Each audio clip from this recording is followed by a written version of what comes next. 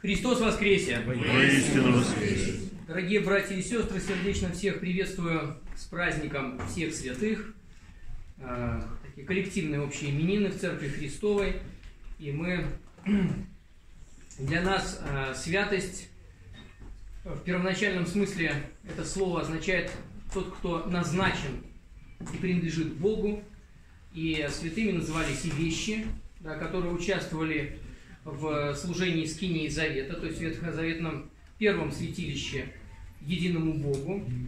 Вот, а, именно поэтому, то есть это то, что было изъято из мира, вот, как условно называя его профанного, да, и становилось сакральным.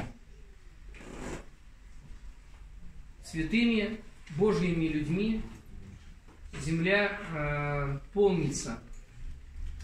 Э, конечно, совершенно несопоставимой пропорции с тем, как она полнится просто рождающимися в этот мир людьми. Мы знаем, есть такие слова, э, не устоит село без праведника.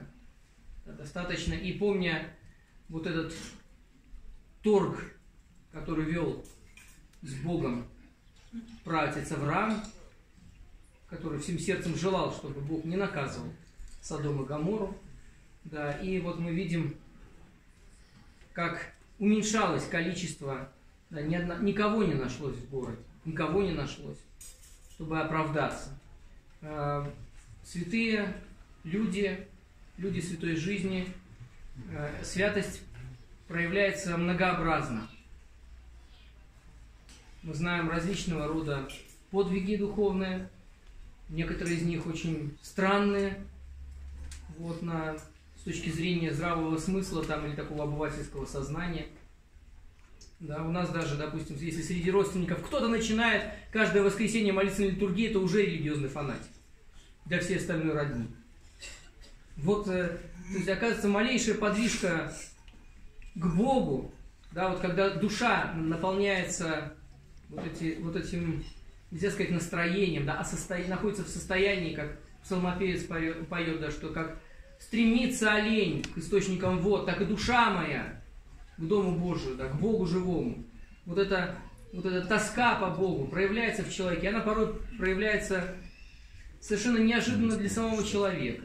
Именно поэтому, именно поэтому у многих людей возникает такой вопрос недоумения, да почему в церкви вот эти люди стоят? Чем они отличились?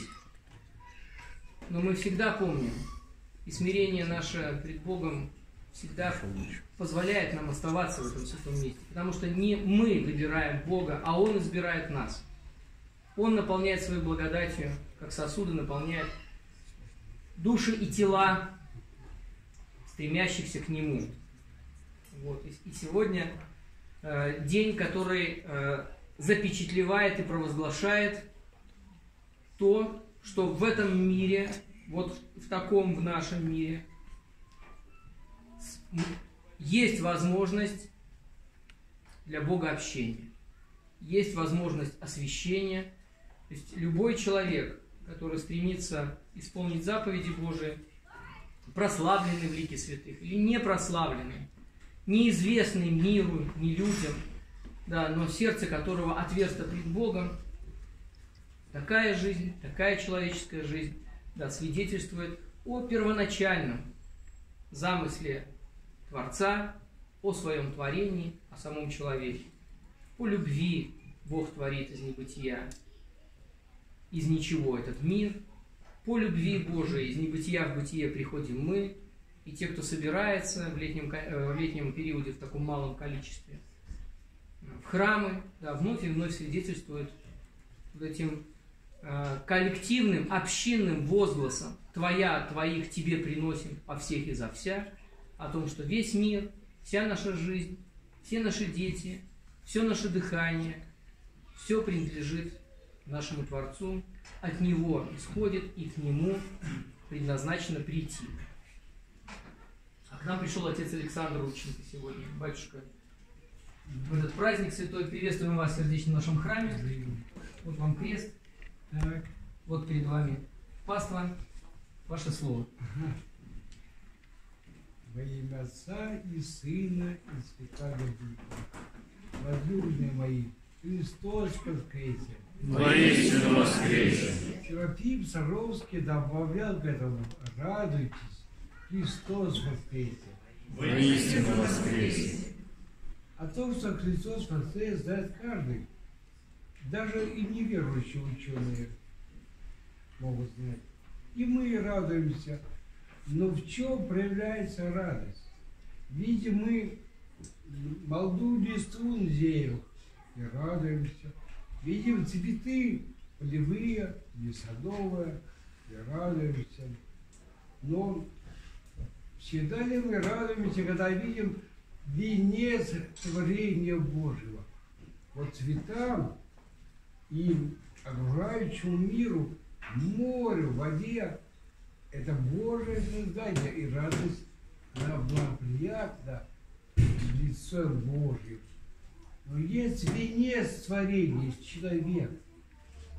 Всегда ли мы радуемся, когда видим другого? Мы рассуждаем, это хороший, это плохой.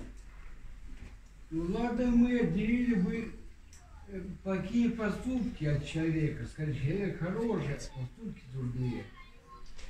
Ладно бы мы сказали, вот человек и сам хороший, и поступки.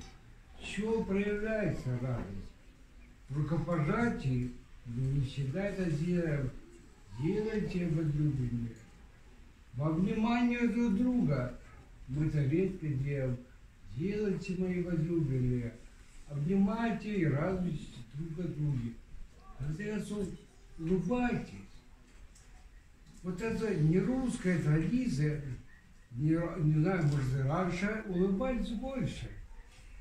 Но американцы, они учат со школьника лет улыбаться. Человек увидел, и не важно, как ты к нему относишься, он улыбается. Он радуется ему. Понуждает себя радует. Видите друг друга, оставьте вашу печаль. Потом на лавочке поделите, расскажите печали. Ну, пожалуйте, просто рад тебя видеть. Ты жив, ты в храме, ты дошел. Я здесь, я обнять друг друга. И в этот акт, даже простого рукопожатия, это таинство великое, духовное. Может, это русская черта, я не знаю. Но вы попробуйте улыбнуться друг другу при встрече. А печали потом уже, на лавочке, не на кухне, за чаем. Но радуйтесь Христу. Это выше нашей печали. Любовь воскресения. Радость свою Христос воскресе. Воистину воскресе. Я здесь. Поздравляем Софию Яскевич. с Днем рождения.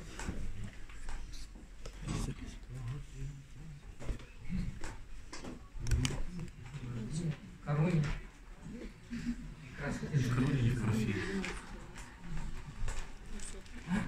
Спасибо, Господи, Отче. Благоденственное мирное житие, здравие, жизнь, спасение во всем благое поспешение.